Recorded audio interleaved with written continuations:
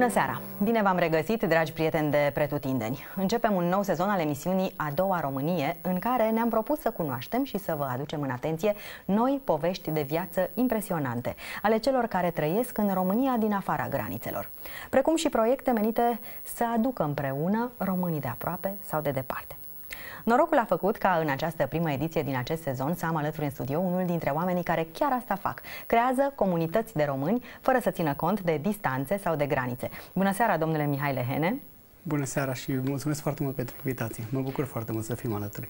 Și noi ne bucurăm. Sigur că ne-a ajutat foarte mult faptul că vă aflați în România și nu la Chicago, acolo unde locuiți de aproape 20 de ani, dacă nu mă înșel? Aproape 20, exact. Care este, pe scurt, povestea uh, plecării dumneavoastră peste ocean? Am început din uh, 98, de fapt. Am plecat prima dată ca student. Am mers fiecare vară până acolo și când am terminat facultatea, am terminat ASEU.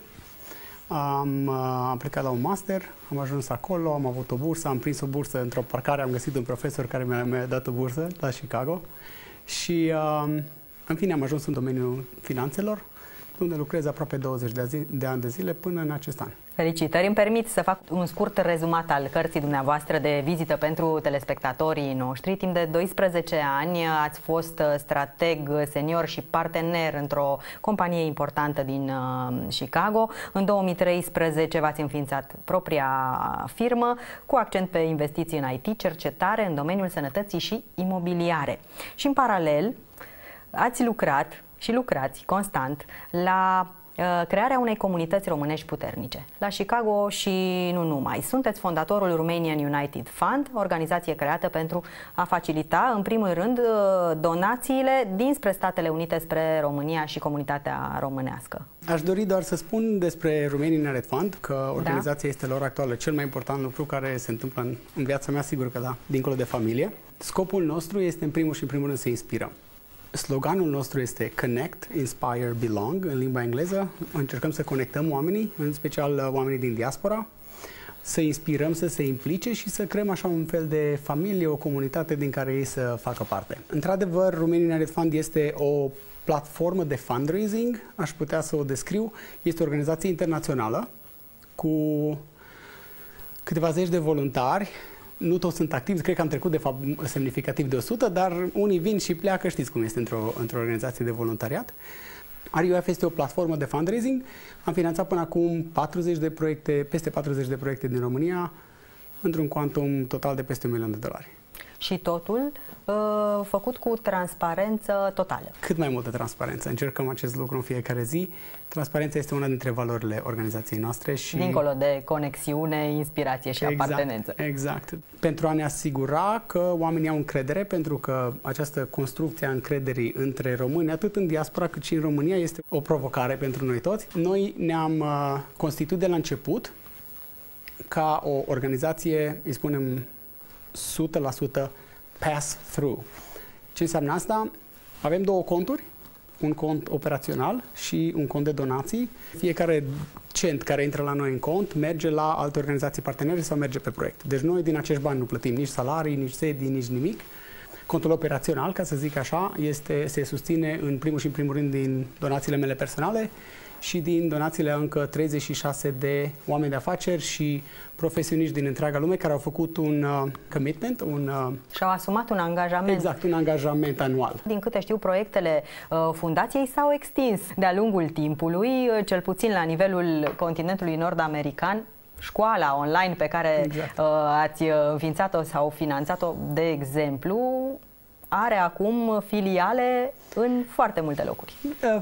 Uh, N-aș spune neapărat filiale, dar uh, avem copii și profesori de pe tot teritoriul Statelor Unite și inclusiv Canada. Încă avem din Mexic, deci nu acoperim toată, toată America de Nord, dar uh, avem un număr semnificativ de copii din Canada, mergem jos pe toate statele până în Florida, California și Seattle, deci acoperim efectiv întreg teritoriul Statelor Unite. Am avut multe cereri, inclusiv din România, dar, din păcate, cursurile noastre fiind online, nu sunt la o oră potrivită și am avut copii care au venit din România, din Italia și au stat câteodată săraci până pe la 1-2 noaptea. Eu, apropo, de la 1 la 3 la noapte am să predau matematică copiilor mei din Chicago. Am, clasa mea este uh, clasa 7 și 8 -a. Uh, avem 8 copii și uh, în același timp mai avem încă 6 profesori. Deci suntem în total 7 profesori la matematică, dar nu predăm doar matematică. Facem, uh, Ce anume? Uh, facem informatică, eu sunt fost olimpic și la mate și la info. Facem educație financiară, învățăm pe copii să aceștia sunt copiii mei. Iată-i, da. I-ați găsit. Sigur. Uh, spun niște lucruri absolut minunate și acum mi se face pielea de găină când îi, îi, eu îi aud așa cu, cu uh, o ureche a mine, așa cu în creier, le aud vocile în spatele meu. Uh, acești copii sunt absolut minunați și știi ce e cel mai minunat lucru?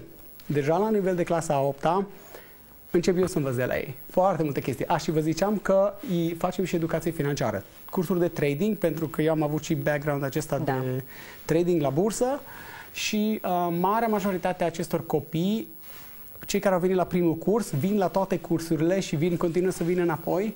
Au trecut și prin cursurile de, uh, de trading, deci au aplicații pe care fac efectiv uh, uh, au bani și practic uh, încep să cumpere și să vândă acțiuni. Experimentează deja ceea exact. ce învață de la dumneavoastră și sunt lucruri pe care probabil nu le învață în mod uh, obișnuit la școală, nici măcar în Statele Unite. Nu.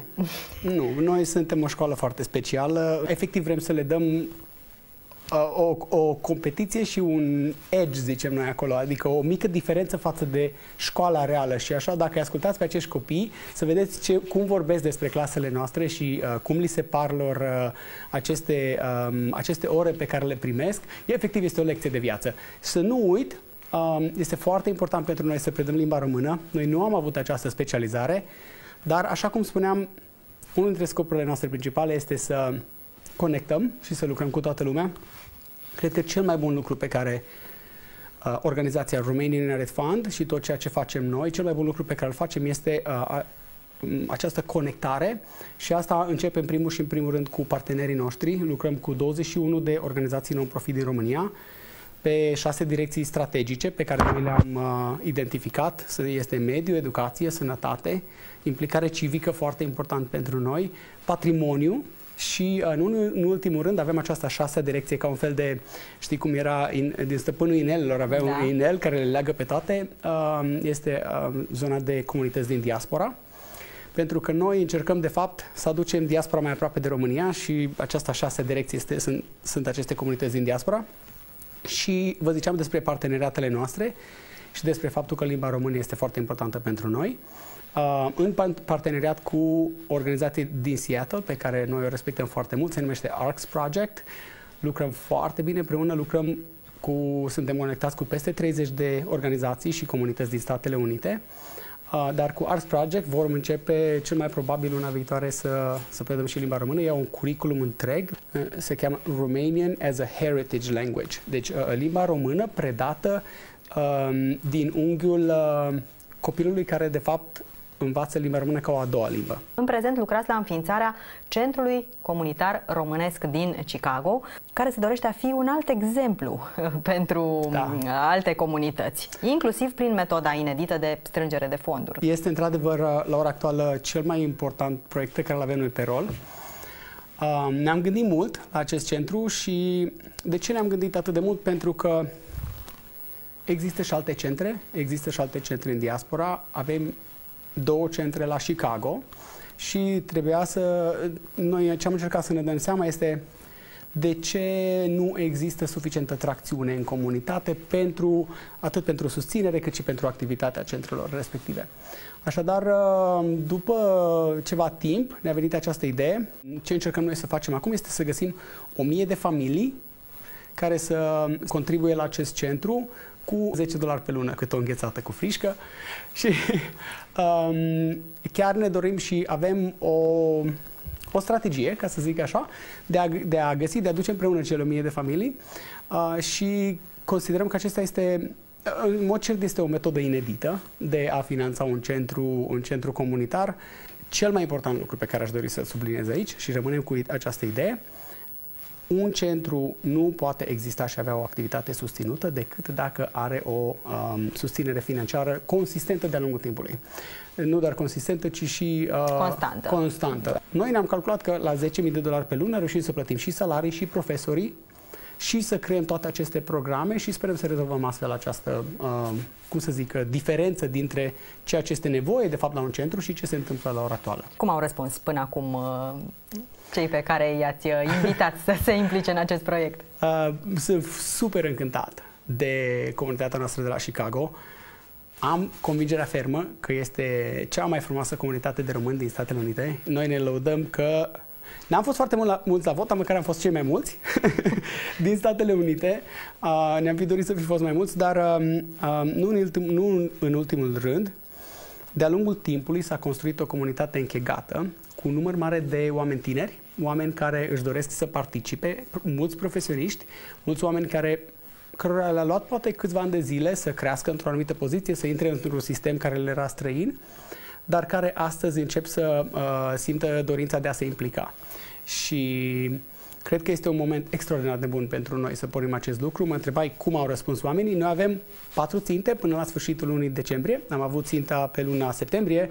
Au fost primii 100 de oameni înscriși și uh, ceea ce noi numim ambasadori, primii 50 de ambasadori. Ne-am atins aceste ținte, le-am Uh, le-am depășit cu vreo 10%, suntem în grafic și lucrurile merg foarte bine înainte. Ați participat uh, de curând uh, la summitul Repatriot, pentru că tot vorbim de reuniuni, alături de reprezentanții ai multor comunități de români din lume. Care a fost concluzia pe care ați tras-o după această întâlnire? În primul rând, m-am conectat în sfârșit cu oameni de pe absolut tot mapa mondul, Uh, din Australia până în Belfast sau până în Marea, în fine, în Marea Britanie am întâlnit foarte mulți oameni foarte, foarte faini în Elveția. Noi fiind în Statele Unite ne cunoaștem între noi și aveam nevoie de această deschidere. Um, prima concluzie este așadar extrem de util acest, acest eveniment care ne-a adus împreună. Orice eveniment de acest gen, nouă, nouă celor din diaspora ne este extrem de util.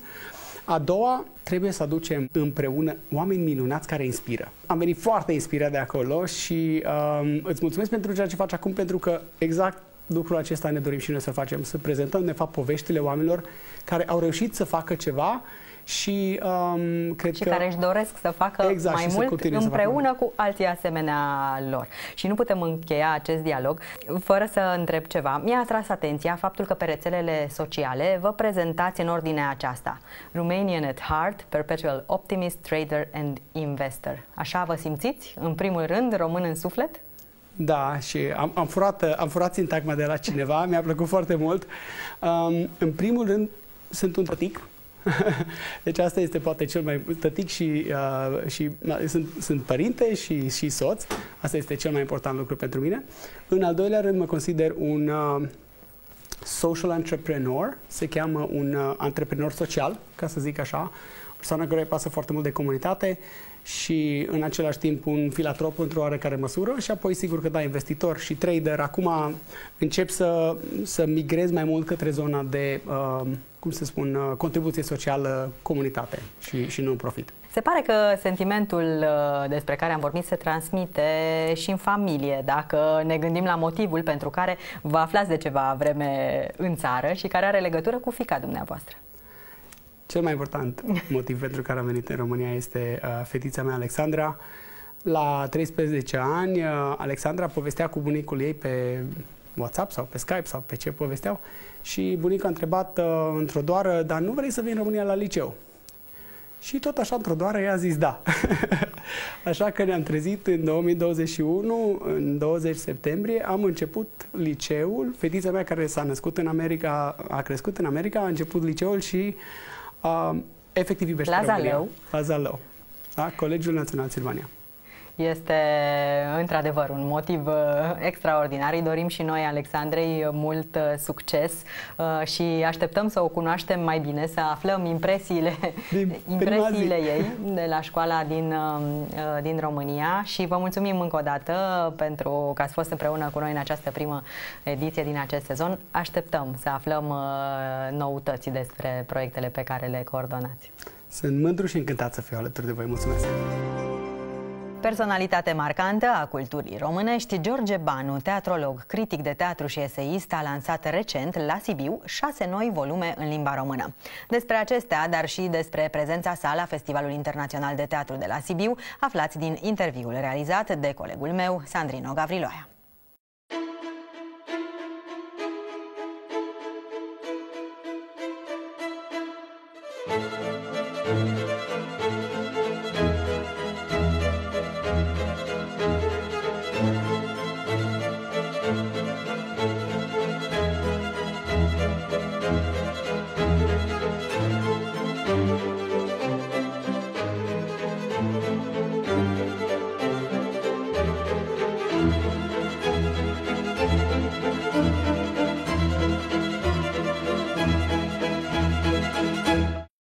Ați afirmat într-o conferință de la Festivalul de Teatru de la Sibiu, într-una din primele conferințe, că acest festival este o platformă editorială. De ce? Constantin Chiriac a inițiat de mulți ani de zile un program de coeditări. Putem spune că festivalul și editora Nemira au publicat un raft de cărți succesive, cu dialoguri teatrale, uh, cu uh, portrete de regizori care au trecut uh, pe aici și recent festivalul a colaborat cu editura Junimea. Acest lucru e un fapt unic, într-adevăr, pentru că festivalurile nu se ocupă, în general, de publicații, de, de această prezență prezență nu para, tangențială, care e o carte și care e o revistă. Uh, Festivalul Internațional de la Sibiu are acest merit și cred că trebuie uh, menționat, mai ales că, într-un fel, aceste cărți reprezintă capitole ale istoriei festivalului, dar în același timp și ale peisajului teatral european. Ați lansat uh, șase cărți în acest festival. Despre ce colaborări este vorba, cu ce edituri și ce volume sunt? E vorba despre uh, o serie de cărți care au apărut în contextul pandemiei uh, și care mie mi-a fost într-un fel uh, propice pentru că de obicei circul, uh, ca să văd teatru, uh, acum situația m-a făcut să mă, să mă închid în casă și să public cărți, să revăd cărți, uh, cu sentimentul că să și apropie sfârșitul vieții și mai bine să, să fii pregătit decât să stai tot timpul în, în perspectiva unui viitor. Și de aceea aceste cărți au fost publicate cu o mare satisfacție. În primul rând, secolul 20, care este uh, unde mi-am făcut debutul și Alina Redeanu a propus această uh, publicație dublă, două volume cu uh, texte despre nu atât despre mine, cât pentru mine, prieteni care mi-au oferit unul mi-a oferit un poem de Marin Sorescu, altul un poem de Ianis Ritsos, Sorin Alexandrescu un eseu. Deci, într-un fel, acest secol 20 este un, un, un florilegiu de, de daruri, uh, de daruri, dar în dar știm cu toții că se reflectă și ceea ce imaginea pe care o ai despre celălalt, uh, căruia ofer, dar și despre tine însuți. Pe de altă parte, uh, am publicat o carte care e inversul, într-un fel, această carte care a apărut la editura uh, Tracus, în colaborare cu Ioan Cristescu, uh, și care uh, reunește uh, de asta dată prietenii mei, mari legizori pe care i-am, pe care i-am însoțit și ale căror vorbe le-am uh, notat deci, cartea e un fel de amestec, de schițe, eh, de identități, de portrete ale lui Grotowski, ale lui Bruc, ale lui Vasiliev, ale lui Andrei Șerban, ale lui Felix Alexa și vorbe pe care ei mi le-au spus. Pentru că asta cred că merită de amintit faptul că uh, gândirea omului de teatru e o gândire îndeosebi orală. Uh, un om de teatru ți se adresează, mai degrabă decât să scrie. Când scrie nu e foarte bine de alt câteodată. Uh, și acest lucru mi se pare just ca eu să transcriu cum am auzit, cum am reținut vorbele, vorbele lor și mai ales contextul în care mi le-au spus. Uh, și e o frază pe care o citez aici, pe care mi-a spus-o Giorgio Strela, marele regizor, să sărbătoresc anul acesta 100 de ani de la nașterea lui, mi-a spus, George, tu asculți ca nimeni altul. Într-adevăr, faptul de a asculta pe cineva uh, e un beneficiu și îți permite după aceea să revezi lucrurile importante pe care ți le-a, uh, ți le-a spus. Deci e un Această carte e, o, e un fel de istorie vie a scenei europene din ultimii uh, 30 de ani. Pe urmă este această uh, carte care a apărut la uh, editura uh, Polirom, uh, care reunește uh, eseurile scrise lunar uh, în uh, dilema veche, uh, eseuri care mărturisesc și pe de o parte, uh, evenimentele culturale care m-au marcat, dar care informează publicul ce s-a petrecut la, la Roma sau uh, uh, la Moscova, din punct de vedere teatral, din punct de vedere al expozițiilor. Sunt, e un fel de voiaj spiritual și cartea mă trimite pe mine astăzi la vechiul model al cărților lui Alexandru Paleologu, care îmi plăceau tocmai pentru că nu erau cărți continue, volume, ci eseuri despre, despre viață, despre cultură, despre literatură. Ale mele sunt despre pictură și despre uh, teatru. Pe urmă, uh, se adaugă cu mare plăcere această carte publicată extrem de rapid de către editura Junimea în condiții excepționale, ca și cea de la Polirom, uh, despre teatrul și spiritul vremii. Uh, teatrul e o artă comunitară, e o artă care interesează mai ales când captează ceea ce apare nou și e necunoscut, când nu a devenit un loc comun. Deci încerc să analizez diferența între spiritul vremii, ceea ce artistul simte subteran, secret, ca aceia care simt unde curge apa sub, sub pământ și moda vremii, uh, care e moda vremii, care inspiră un teatru militant, didactic, plin de uh, locuri comune. În sfârșit, uh, pentru a încheia această mare bucurie care mi-a produs o apariția acestor cărți, aș vorbi despre o lumină în inima nopții, E o carte despre uh, ceea ce putem numi o mitologie a scenei contemporane, candelabrul care îl găsim în, în spectacolele lui Silviu Purcărete, al lui Thomas Ostermaier, dar și în uh, vitrinele marilor magazine, uh, pe străzi. Candelabrul este ceva între mitologia uh, vieții trecute a secolului XIX și uh, cotidianul de astăzi. Poezia Candelabrului vine din opoziția între o lume dispărută și uh, uh, lumea de, de astăzi și în, în carte se pot găsi imagini splendide de candelabre utilizate de către uh, mari regizori. Această uh, carte are pe copertă o imagine din Furtuna, pusă în scenă de Silviu Purcărete, cu marele actor care ne-a bucurat ani de zile uh, în Faust și în atâtea spectacole la uh, Craiova, Ilie Gheorghe, uh, pe care cu toții îl regretăm. Dar ceea ce ne arată festivalul este că, în afară de cărțile acestea, am avut plăcerea să vorbesc cu Mihai Mălaimare, actor Uh, pe care îl respect, actor care a avut într-un fel același parcurs la Institutul de Teatru și Film, uh, de lângă Teatrul Bulandra, unde mi-am făcut și eu studiile și povestește viața de atunci în Caleașca Aurită și uh, mai ales în această carte, Statuia Vivantă, care e o pecetea identitară a lui Mihai Malai Mare, regăsim principii, regăsim plăcerea de a expune statui vivante.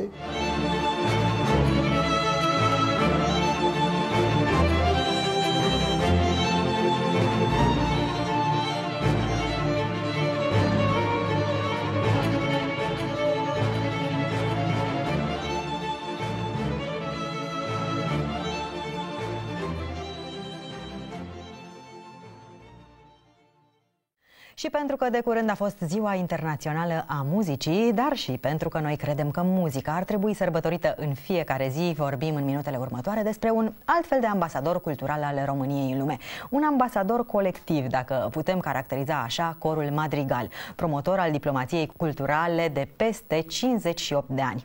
Despre cele mai uh, recente evenimente, proiecte, dar și despre perspectivele unor turnee internaționale. Vorbim cu domnul Emil Pantelimon, managerul corului uh, Madrigal. Madrigal Marin Constantin. Bună seara și bine ați revenit la TVR Internațional. Mă bucur să fim din nou pe aceeași frecvență. Și noi ne uh, bucurăm, mai ales uh, după o perioadă destul de lungă. Am urmărit mesajele pe care le-ați transmis împreună cu artiștii de Ziua Internațională a Muzicii, o sărbătoare pe care poate ar trebui să o prețuim mai mult.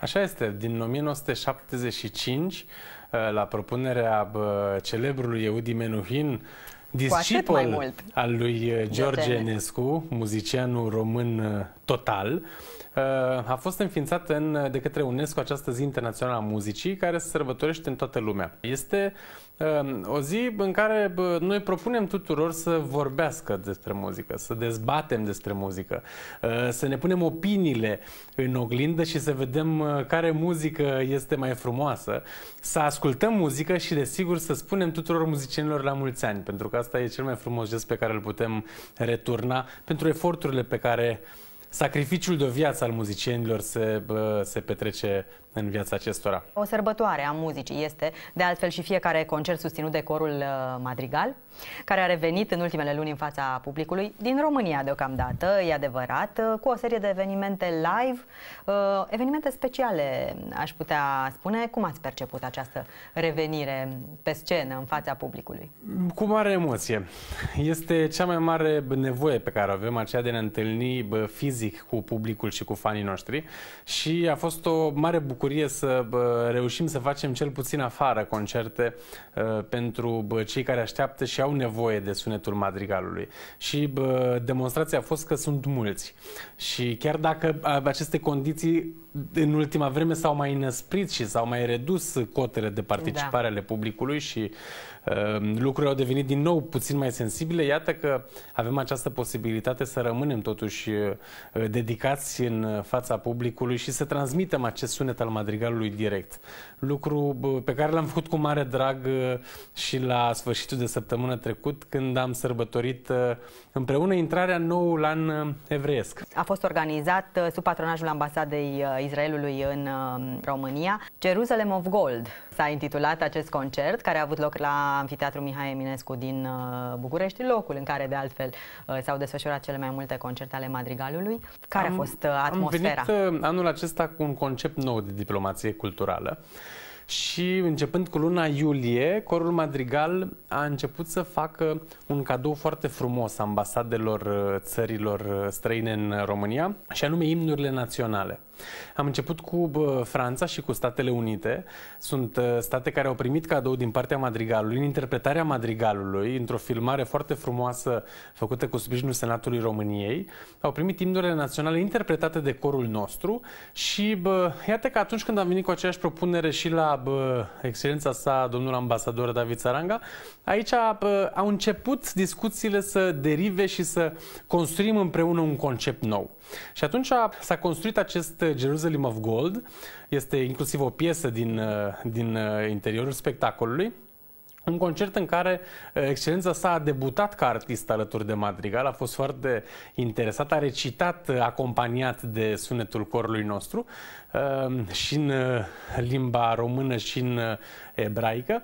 A fost un moment special și a fost un concert special pentru că întreg amfiteatru s-a transformat practic în această sărbătoare de intrare în anul nou uh, evresc, cu toate detaliile care depind de aceste uh, particularități ale fiecarei culturi. Adică Rodia a avut locul ei uh, special, Rodia fiind uh, fructul care se mănâncă și care se face cadou de anul nou evresc și se spune că atâtea fapte bune să ai parte câte semințe sunt în Rodia pe care o primești. Merele au fost iarăși la loc de cinste, florile frumos parfumate au fost uh, uh, la locul lor și spiritul, prin foarte multe piese, repertoriul ales de Ana Ungureanu, dirijorul corului, uh, a, s-a dus foarte mult spre zona izraeliană, care a fost reprezentată și scenografic și de zidul de vest, și de zidul uh, cetății, și de grădinile Ghețimani, și de foarte multe peisaje din, uh, din Ierusalim, pentru că proiecția echipei tehnice pe întreg ansamblul de la Amfiteatrul Eminescu a fost, a fost într-adevăr uh, senzațională. O nouă dovadă a puterii pe care o are acest limbaj universal, aceea de a aduce, de a aduce oamenii împreună și pentru că ați vorbit despre uh, acest concept și despre unitate, cum faceți să mențineți acea comuniune cu partea artistică a madrigalului, să lucrați lucrați întotdeauna în echipă, astfel încât, iată, rezultatul să fie unul surprinzător de fiecare dată. Suntem conștienți Uh, și noi uh, din zona tehnico-managerială și cei din bază, din uh, partea artistică, suntem conștienți de miracolele pe care muzica le poate face. Se întâmplă asta și la toate concertele de Crăciun, se întâmplă și de Paște, astfel încât, încetul cu încetul, responsabilitatea de a continua și de a face uh, munca pe care este menit să o facem sub această tutelă magică a madrigalului uh, este puțin mai presus de orice altceva.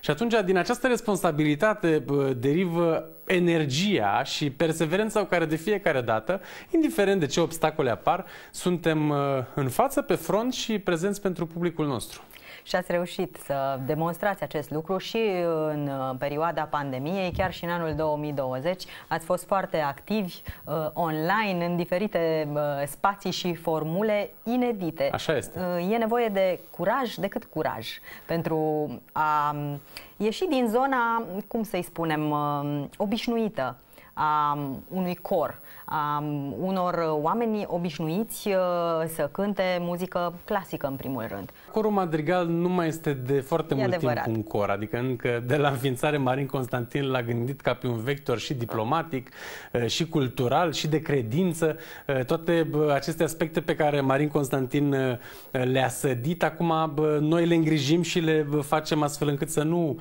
se usuce din contră, să înflorească și să reînflorească și să reînflorească. Dar uh, cred că dacă suntem conștienți de ce suntem puși acolo, în locul în care Dumnezeu ne pune, uh, nimic nu mai este greu. Dacă ne dorim să facem cu adevărat niște lucruri, este imposibil să nu le realizezi. Trebuie să nu ai voință ca ceva să nu se întâmple. Absolut orice. Suntem uh, zilnic cu deviza Sky is the limit, și asta ne încurajează de fiecare dată. Și cred că și mai important, suntem conștienți, cel puțin eu, sunt conștient de faptul că echipa Uh, de care sunt înconjurați și care de fapt mută munții din loc, este mult mai performantă și mai uh, bine pregătită decât sunt eu, individual, fiecare sigur pe segmentul lui. Atunci când conștientizez lucrurile astea, cred că lucrurile încep să se desfășoare și să devină uh, absolut orice posibil. Pe lângă maestria inconfundabilă a corului, pe lângă repertoriul uh, consacrat, reușiți să integrați mereu elemente noi, muzicale, vizuale uh, sau colaborări inedite, cum a fost uh, aceasta de la Jerusalem of Gold sau cum a fost cea cu actorul Marius Manole sau cu ansamblul de percuție Young Beats uh, condus de Zoli Tot, care acum se află în, în Dubai. Dubai, așa este, la deschiderea pavilionului României de la Expo 2020. Grupul uh, foarte bine instruit, cu multă perspicacitate și perseverență de Zoli, uh, au avut deja 5 concerte în cadrul pavilionului României de la Dubai Expo 2020. Este un eveniment foarte important și iată deschiderea acestuia de către copiii Cantus Mundi pentru noi este un simbol și un semnal foarte bun și bă, de încurajare, dar și de mândrie, pentru că, iată, mesajul acesta al unității între copii și al ridicării barierelor de sociale și de discriminare e foarte important că este dat și la nivel mondial prin deschiderea unui pavilion al unei țări atât de importante ca România la Dubai Expo 2020. Cu siguranță și o experiență extraordinară pentru acești copii Absolut. minunați din programul Cantus Mundi. Schimbăm România prin muzică. Asta e de altfel deviza uh, programului. Ei care sunt ambasadorii împlinit... noștri acum la schimbatul lumii prin muzică. da, iar programul Cantus Mundi a împlinit 10 ani în acest Așa an, este. dacă nu De 10 mă ani de zile, bă, proiectul Cantus Mundi, program național, el are 6 ani de când este program național uh, și la Se mulți înainte. semnele schimbării? Sincer, da. Deja avem uh, copii din primele generații de coruri care finalizează facultatea de muzică, care s-au fost motivați într-atât de mult de ideea de a învăța muzică și de a face muzică, încât uh, au uh, accesat nivelurile superioare de învățământ muzical și sunt deja muzicieni la diverse instrumente sau în diverse coruri. Și o plăcere aparte când vin absolvenți de facultate și îți spun, hai să știi că eu am început muzica datorită Cantus Mundi și faptului că mi-ați deschis atunci atunci când eram în școala generală ochii referitor la ce înseamnă să fii artist și o să vin anul viitor la preselecție pentru Madrigal. E frumos acest sentiment, dar dincolo de asta se vede că această mare comunitate corală a României este mult mai unită.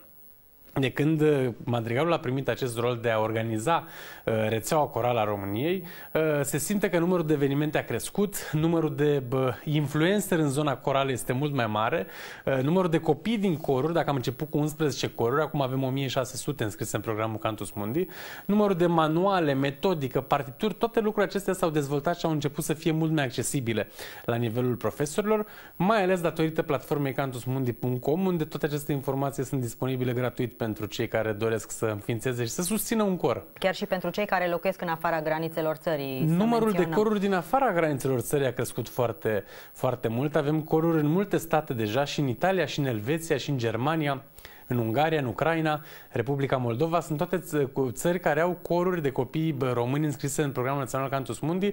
Urmează să dezvoltăm un astfel de program similar și la Dublin.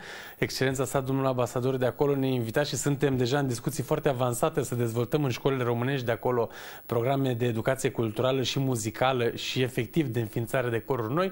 Deci perspectiva este foarte deschisă și cred că va fi cea mai bună soluție ca această comunicare de care este nevoie între copiii români din diaspora diaspora și da. copiii români din țară se întâmplă prin muzică. Cum ar putea să fie mai frumos? În ce măsură credeți că poate fi benefic acest program și pentru copiii reîntorși în țară?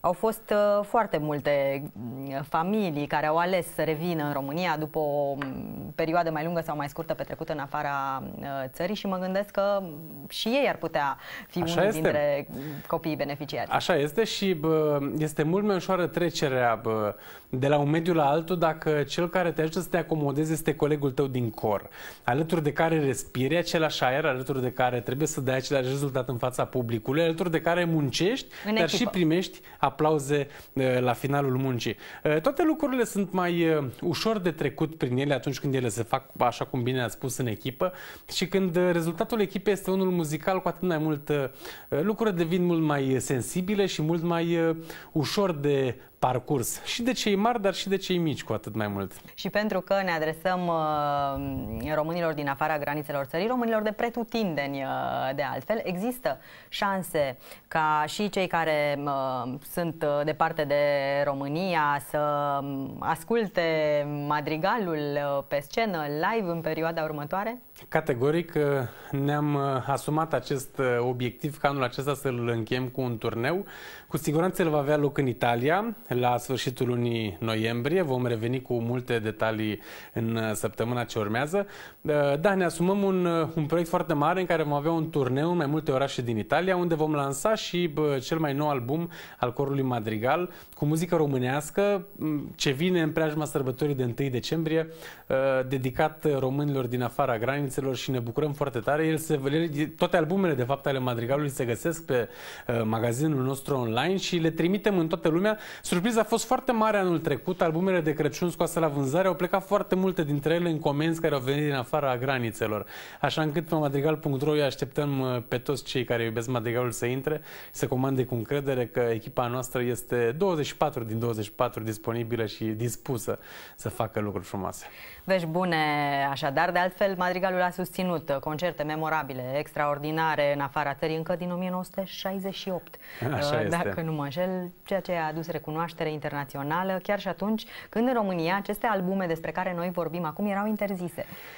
Da, au fost scoase de pe piață, au fost scoase de la producție, eh, au fost eh, tipărite pentru prima dată albumele de colinde în eh, Statele Unite ale Americii și bă, în alți predați biserici și le aduceau ca marfă de contrabandă înapoi în România, se dădeau pe sub mână și se ascultau cu mare discreție, dar au devenit în scurt timp emblema Crăciunului românesc, pentru că Radio Europa Liberă în fiecare an de Crăciun a oferea românilor madrigalul lui Marin Constantin, care a înțeles cât de importantă este credința și cât de important este acest vector al nașterii Domnului atunci când vorbim despre Crăciun, nu neapărat cel comercial sau cel impus de o anumită bă, dictatură, că e gerilă sau că are alte valențe. Și atunci, practic, de aici Madrigalul s-a transformat și într-un lian spiritual pe care românii l-au avut mai puțin și erau mult mai săraci dacă nu exista madrigalul, mai ales atunci când vorbim despre această sărbătoare extrem de importantă care este Crăciunul și pe care deja o pregătim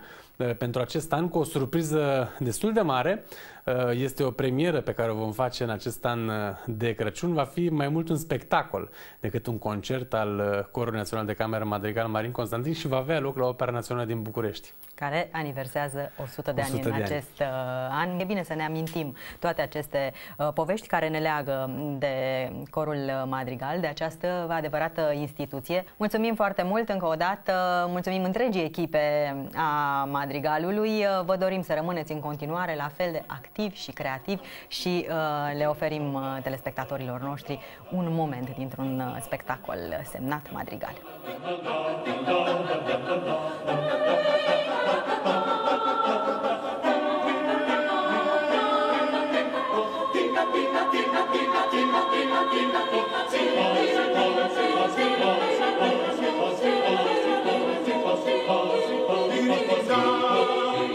上心呀呀上，万里万里上，上上上上，万里万里呀呀。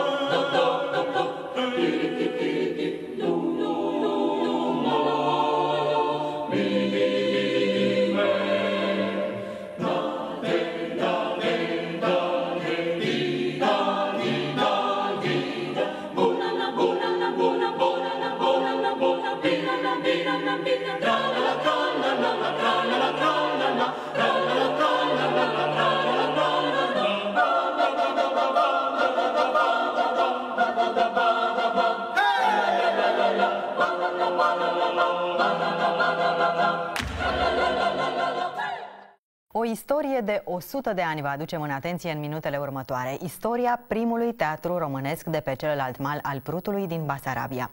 Teatrul Național Mihai Eminescu din Chișinău, care promovează de decenii valorile identitare, a împlinit pe 6 octombrie 100 de ani de la înființare. Despre istoria zbuciumată a acestei instituții, dar și despre programul aniversar care marchează centenarul, vorbim cu domnul Petru Hadârcă, directorul Teatrului Național Mihai Eminescu. Bună seara! Bună seara! Bun găsit și la mulți ani de teatru românesc de calitate pe ambele maluri ale Prutului, domnule Hadârcă. Vă mulțumim că sunteți alături de acest eveniment important pentru noi, pentru toată mișcarea Uh, teatrală românească, cred că de pe ambele maluri ale Prutului. Și din întreaga lume, de ce nu? Sunt români în toată lumea care urmăresc uh, activitatea uh, teatrului. Dumneavoastră cunoașteți foarte bine această istorie de 100 de ani a Teatrului Mihai Eminescu pentru că ați studiat-o timp de 10 ani în arhivele din România pentru a o face publică. În primul rând, grație faptului că a fost un accident uh, atunci în 2003 uh, cu vechea guvernare comunistă care nu le era pe plac faptul că a apărut și cartea academicianului Leonice Mortan, uh, prima, de fapt, carte despre Teatrul Național de la origini, începând cu anul 1921 și refuzând să sărbătoresc un teatru care îl vroiau ei, teatru moldovenesc de după război, am zis că nu, aici e teatru a fost înființat și Teatru Național Românesc care o cu totul altă uh, istorie. Și uh, eram la București uh, ca să demonstrez ceva, am încercat să studiez ziarele din perioada a anilor interbelici și am descoperit cu bucurie și cu emoții articole în ziare, mai ales în ziarul Rampa, care uh, înștiința spectatorii, publicul larg, în fiecare săptămână uh, despre uh, premierele care aveau loc la Teatrul Național din Chișinău.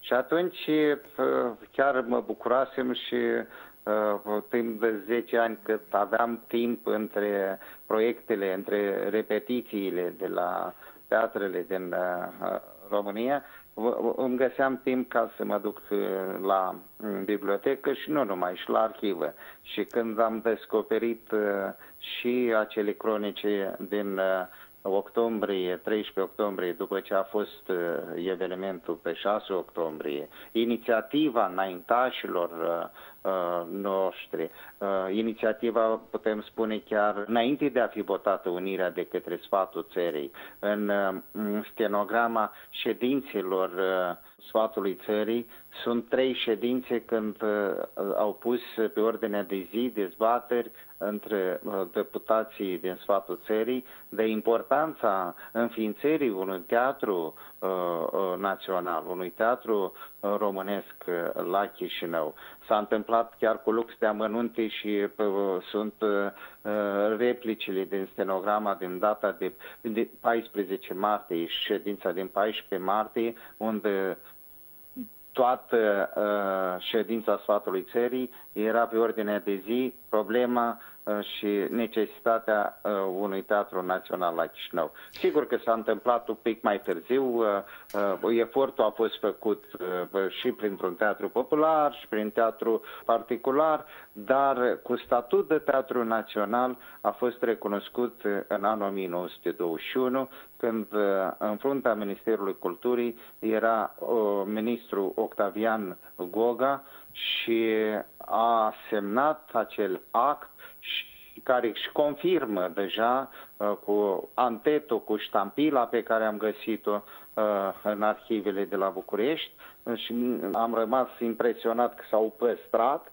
Uh, am găsit uh, și descrierea acelui eveniment de la 6 uh, octombrie, când uh, la inițiativa uh, directorului Constantin Mărculescu, la inițiativa uh, lui Nichifor Crainic, a lui Virgil Cioflec, uh, care era la minister, și a lui uh, Octavian Goga, au uh, rugat sculptorul Dimitrie Paciurea și actul pe care îl l-am văzut atunci și l-am și scanat, vorbește că acel bust al lui Bogdan Petricei cu HD realizat de sculptorul Dimitrie Paciurea să fie zeul casii păzitor al Teatrului Național de pe meleagurile uh, Basarabiei. În acest an, chiar pe 6 octombrie de curând, uh, ați și dezvelit o copie a acestui uh, bust al lui Bogdan Petricei cu HD.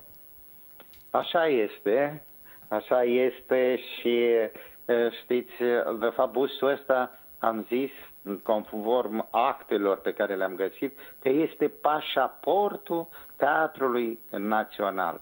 Este actul de înființare care confirmă existența acestui teatru de un secol uh, încoace. Cultura definește identitatea noastră națională. Ați declarat la primirea distincției conferite de președintele României în acest an, uh, domnule Hadârcă, iar teatrul Mihai Eminescu asta a făcut, a protejat identitatea națională românească prin cultură decenii de-a rândul, chiar și atunci când se numea Pușkin. Poate nu toți cei de pe acest mal al Prutului sau din lumea largă înțeleg cât de mult a însemnat acest lucru. În timp de un secol de teatru, teatru a suferit nouă transformări. Au încercat, a fost influențat politic, au încercat cenzura comunistă, ideologia comunistă, să-l numească la o anumit, într-o anumită perioadă și Maxim Gorki.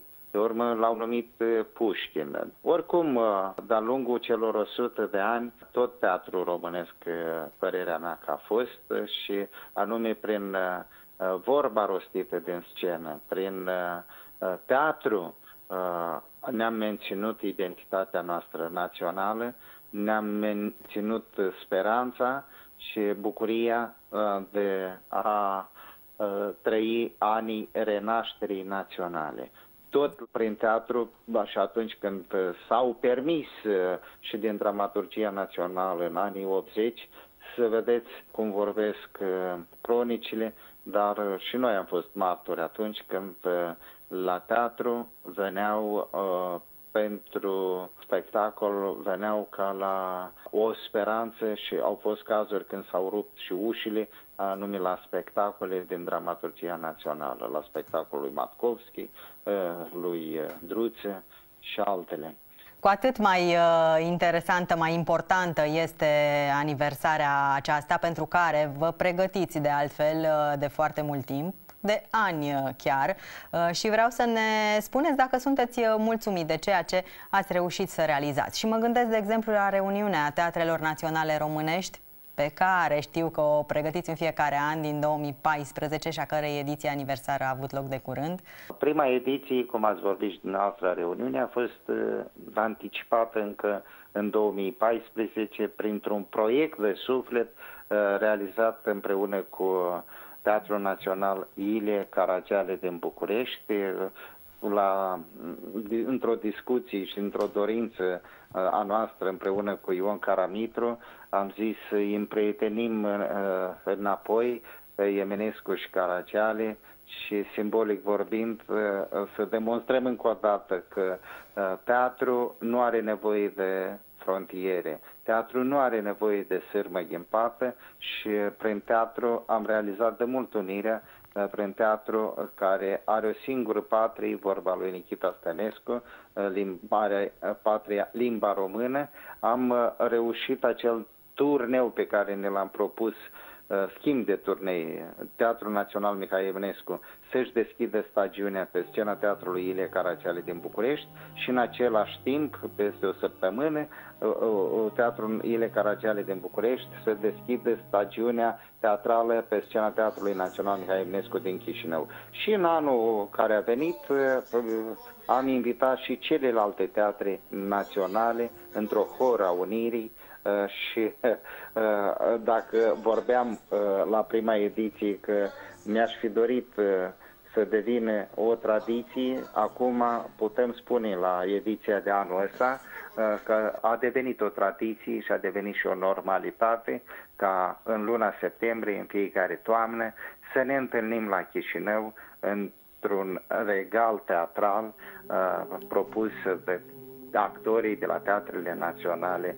din România. Grație sprijinului, în primul rând, important financiar făcut de Institutul Cultural Român de-a lungul celor șase ediții. Iar anul ăsta, credeți-mă că mm, trecând de un an de pandemie, uh, trecând uh, uh, așa cum a trecut toată societatea, a fost atât de multe dorite și sunt recunoscător uh, tuturor uh, managerilor de teatru că au acceptat să aducă spectacole de valoare, uh, unul mai bun decât altul și a fost uh, apreciat la justa evaluare de către spectatori, aplaudat uh, în picioare la sfârșit, chiar uh, timp îndelungat. Programul aniversar a cuprins de altfel numeroase evenimente care au culminat desigur cu gala din 6 octombrie. Nu a fost ușor cu siguranță să le organizați în contextul uh, restricțiilor impuse de, uh, de pandemie. Ați primit uh, de altfel și numeroase mesaje de la personalități de pe ambele maluri ale Prutului și vreau să ne spuneți în încheiere care este mesajul dumneavoastră pentru public, dar și pentru echipa acestui minunat teatru de la Chișinău. Ce vă doriți pentru Teatrul Mihai Eminescu din Chișinău?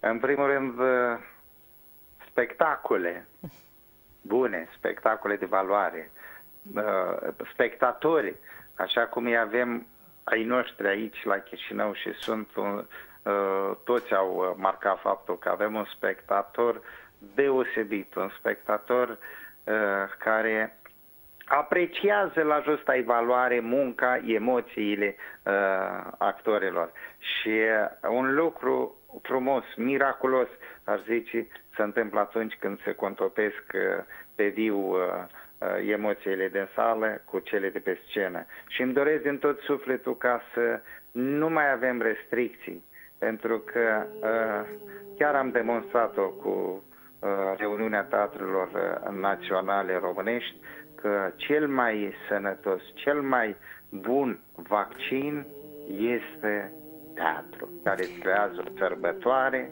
așa cum a și uh, făcut-o la reuniune ediția 6 anul ăsta.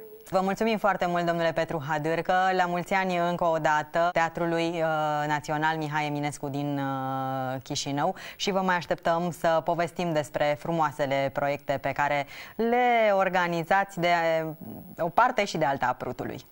Vă mulțumesc mult pentru interes, pentru susținere și pentru promovare. Vă așteptăm cu drag la teatru, la Chișinău sau la București când vom fi, sau la Iași sau în alte orașe când vom fi în turnee. Sperăm să scăpăm cât mai curând de cumplita pandemie. Aceasta a fost prima emisiune din acest uh, sezon. Vă mulțumim pentru că ați fost alături de noi și vă așteptăm și săptămâna viitoare la aceeași oră. Toate cele bune!